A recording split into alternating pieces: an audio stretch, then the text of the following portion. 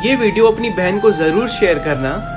ज़िंदगी में दोस्त तो आते जाते रहते हैं। ज़िंदगी में दोस्त तो आते जाते रहते हैं, लेकिन बहन ही एक ऐसी दोस्त होती है जो ज़िंदगी भर साथ निभाती है।